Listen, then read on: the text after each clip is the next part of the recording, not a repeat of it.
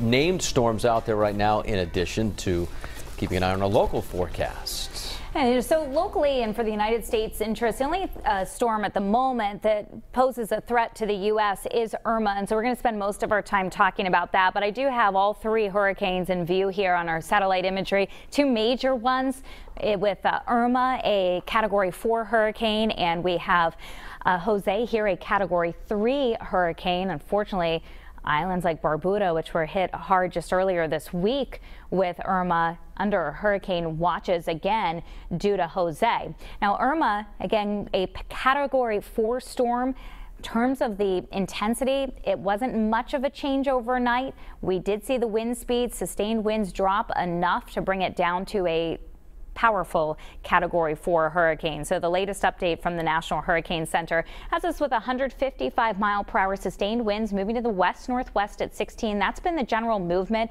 over the last few days. The pressure now 925 millibars. On that path, it's going to track between the Bahamas and Cuba over the next couple of days, hitting south uh, the southern Bahamas hard during the daytime today. And then it's still forecast to take that sharp turn to the north, which would bring it into South Florida Saturday night and Sunday morning. So here's the hurricane warnings right now, and you can see that those have expanded to include that southern tip of Florida, the Florida Keys, uh, likely to be hit with a category four hurricane. The intensity of this not expected to change much before landfall in Florida. 150 mile per hour sustained winds as of 2 a.m. Sunday morning, approaching the Florida Keys in South Florida, and from there expected to weaken as it tracks over land. But still, even Saturday night, Sunday morning, nearing Orlando could be a Category 2 hurricane with 105 mile per hour sustained winds, and then weakening to a tropical storm by Monday night. Here's the wind speeds, and this is the probability of hurricane force winds. So we see that expanding into South Florida so that by 8 a.m. on Sunday morning, the Florida Keys, Miami likely to be seeing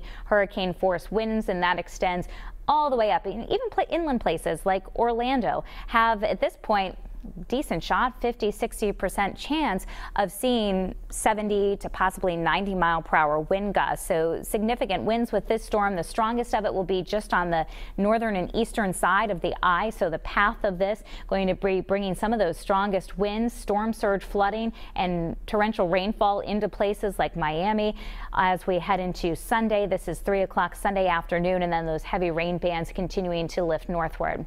So Hurricane Irma, a significant threat threat to Florida. The threat for Georgia and the Carolinas based on new data coming in a little bit less. For us, we stay quiet. Radars dry this morning and other than an isolated shower or sprinkle, next couple of days are storm free for us. Temperatures in the low to mid 50s this morning.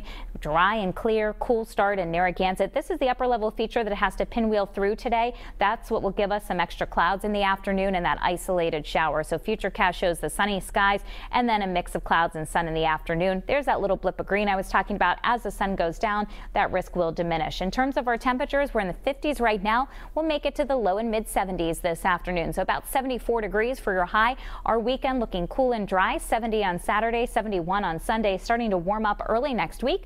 A couple of showers, the remnants of Irma, and there will be very little left of it. It looks like by the time it reaches us in the forecast for your Wednesday. Your full Futurecast all